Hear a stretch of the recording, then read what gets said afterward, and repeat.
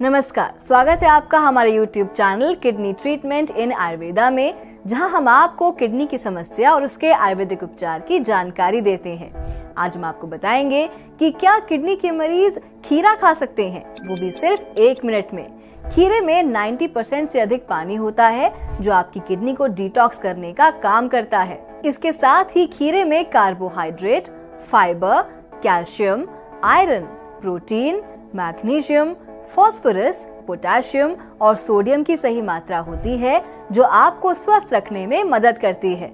आपको बता दें कि किडनी के मरीज़ खीरे का सेवन नहीं कर सकते, क्योंकि किडनी के मरीजों को पानी का सेवन सीमित मात्रा में ही करना होता है। खीरे में पाया जाने वाला पानी डैमेज किडनी के काम को बढ़ा सकता है। जिनकी किडनी में स्टोन है, ऐसे मरीज़ खीरा खा सकते हैं, लेकिन सीमित मात्रा में। तो आज के लिए बस इतना